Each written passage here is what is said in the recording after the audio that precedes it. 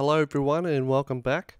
Um, this is a continuation on from the last video which I've sort of split up into two. So the last one was seven, this one is now eight. Um, it was getting too long so anyway welcome and enjoy.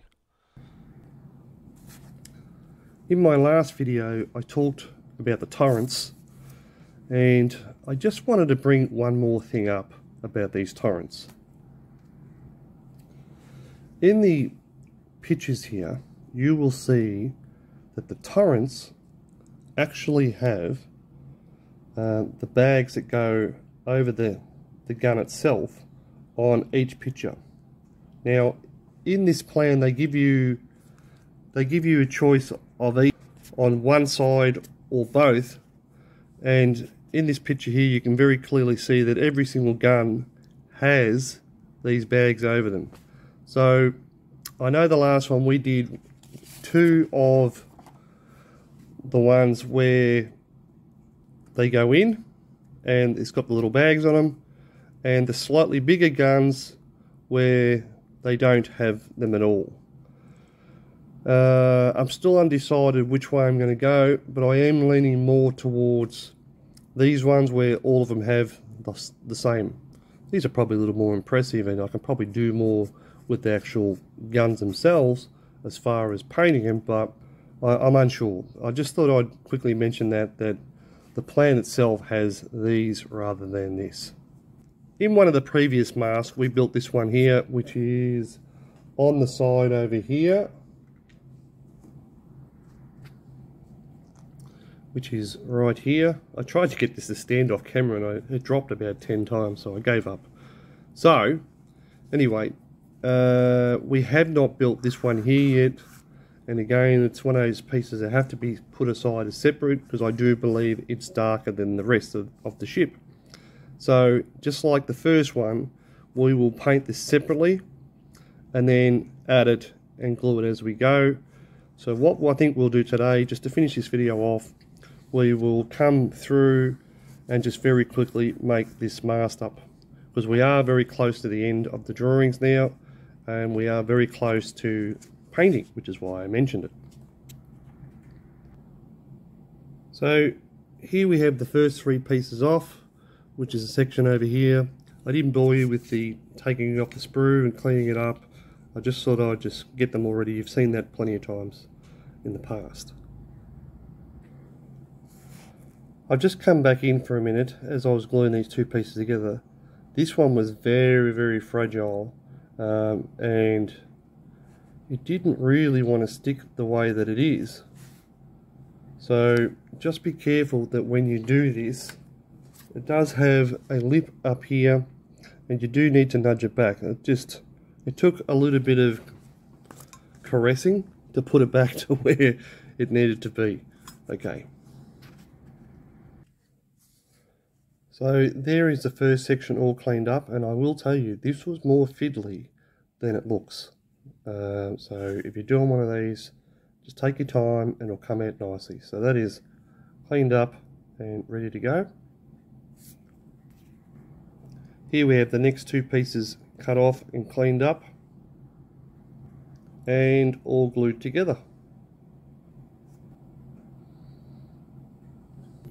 A 39 because this is a continuation on from the other video, I put a few pieces together to sort of save some time.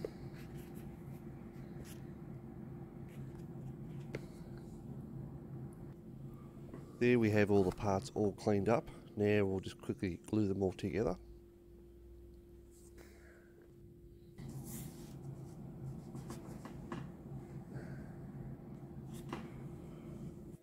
Okay, I've come back in because this piece here is really, really confusing. So the legs this way is the correct way.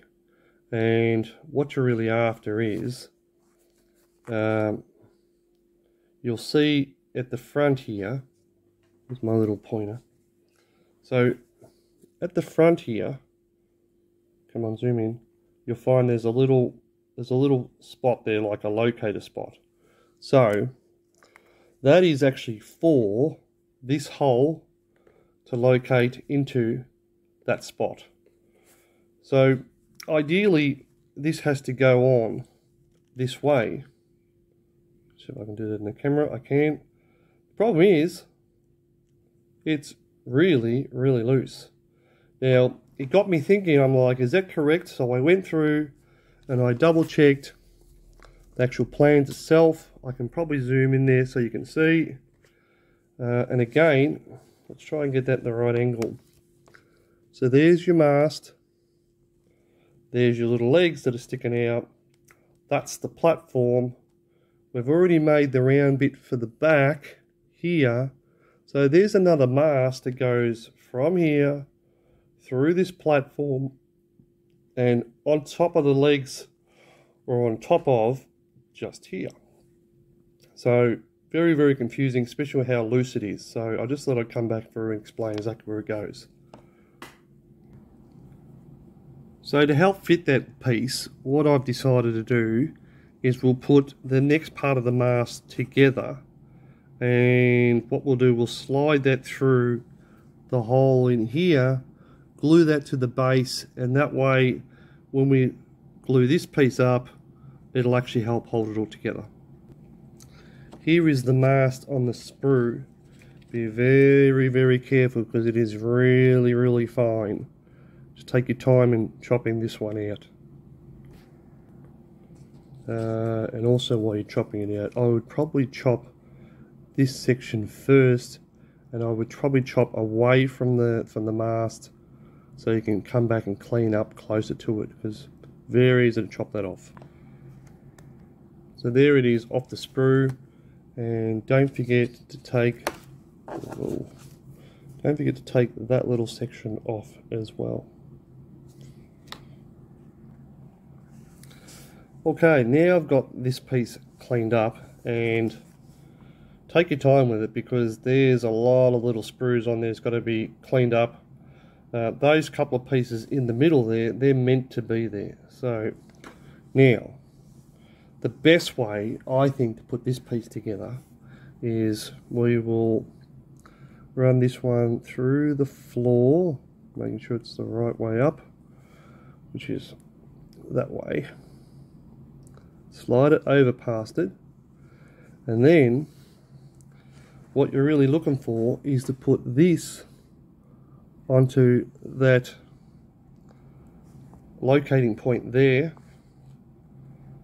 and glue that down and then after it's glued down you can then slide the floor down onto, onto the position which will go through there and locate it like so. So, what it will look like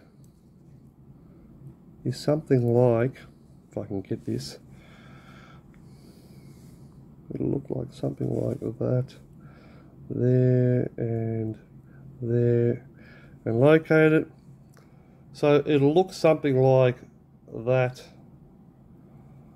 And that's why I'm saying do this one section at a time. So glue it on there, glue it onto the bottom here first, wait, get these two sorted out, and then you can slide that other piece down. And that's probably your best bet to get that on. And if you want to see me glue it on, I'm going to do it something like this. Prepare it, get it ready, dab my glue on, put plenty on here, give it a second to go off, and then a bit more. I put quite a lot on there. Right, now once it starts to take off, now just line the tops of your aerial up. Just like so. Don't worry about the floor just yet. Just get the mast and your legs in line. I'm going to suggest you just muck around with this just a little bit. And again, you want that pole to look like it's spearing all the way through. Mine has a tendency to want to fall a little to the right. And once we kind of get it okay that way, again, double check that the orientation is correct. And then we also have to flip it around and line it up this way. Once you get it to where you're pretty happy, I would suggest this piece until that glue and the plastic goes right off, just give it 10 or 15 minutes. So we're going to do the same and we'll come back. There was an awful lot to eye up with this piece to get this part of the mast in line with itself and then we roll it over. We want it level this way and then we're going to roll it to the side and we get it level that way as well so yeah take your time and it'll come good okay so a good 15 probably 20 minutes has passed I've let this just sit here to go off and sometimes the best thing to do is actually just not fiddle with it so now let's have a bit of a look how strong it is. Yeah, that's pretty strong now. That's pretty good. Still fragile, but strong.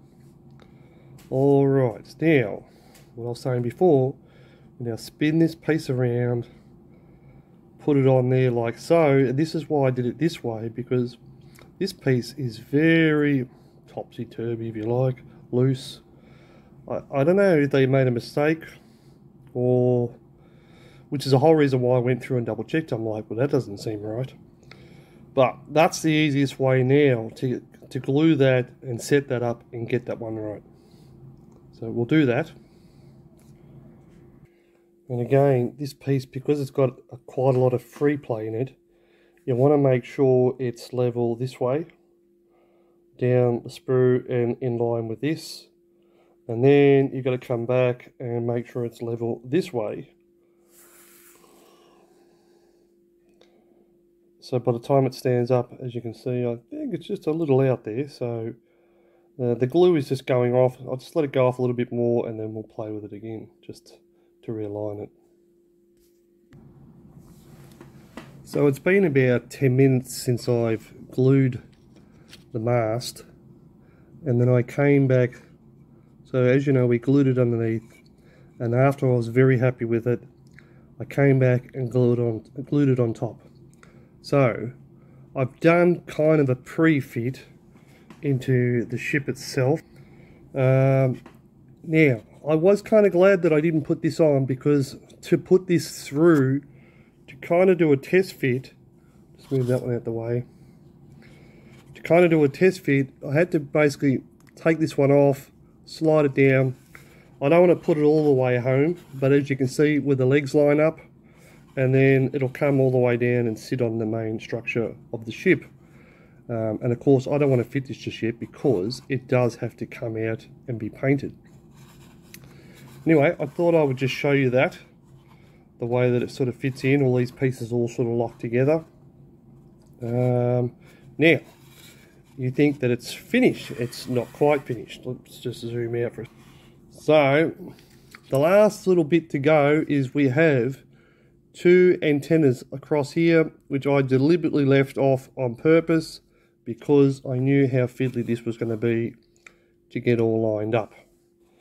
There it is full on, front on. I believe it's pretty straight. I don't know about your perspective, but yeah. So now I'll take this out, I'll put the last two antenna on, and then we'll call this uh, this episode finished.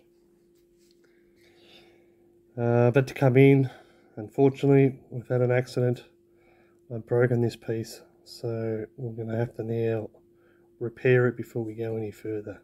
I broke it while trying to clean it, unfortunately. I've glued it back together um, because it's so fragile now we're going to have to really let that go off. So again, I'll probably come back in another half an hour. So another half an hour has now passed and the catastrophe that we had is now being avoided. So, crisis no more. There it is back together. And it's been a while, so the glue's gone right off. And now I'll have to continue cleaning it. So there's that piece in there. it's not even one millimeter so this is why we had trouble with it. Just thought I would show that. Nope unfortunately we've done it again. I think we're going to have to uh, wait again. I've just put it back together again for the second time and it's fiddly as. So there it is. Just need to bang it back into place. Oh too much. All right. So unfortunately we're gonna have to let that go off again. Okay now we've got that all glued back together I, uh, while this mast was sitting in there, I'm going to use it to its full advantage because the ship is actually helping me hold it hold it upright. Uh, what I might do okay I changed the uh, what it was sitting on because it was a little bit unstable and I really wanted this to be sitting pretty much straight up and down sort of this way. I know the camera doesn't quite sort of say that, just to, maybe if I move this over here. Okay, so I just readjusted it and moved it. So now, as you can see, it's sitting there straight up and down this way. Now that it's sitting there, uh, there's two pieces left here. There's the bottom piece and the top piece. Okay, let's try this again. This is turning out way harder than I thought. So we have the secondary uh, crossways piece, which is pretty much for um, all the rigging, and the, the top one as well. So this is the one that I broke. Let's try and end this video and get this piece on. Okay,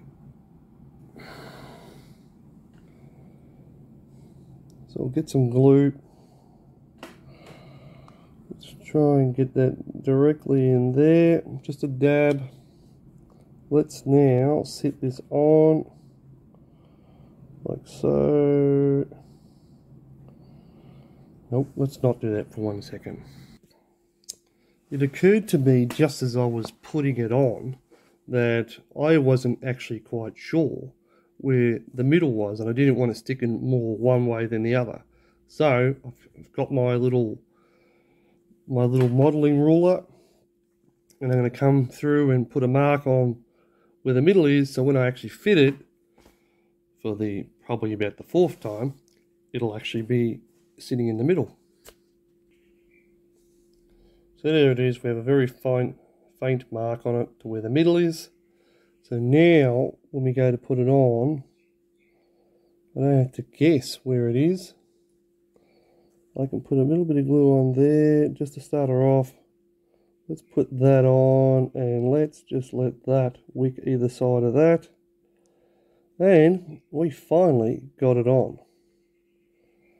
Oop, oop, no, new problem.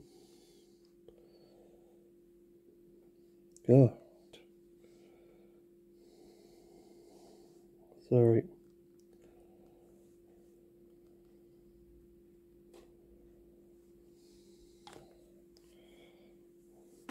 I don't know if I've got that on screen.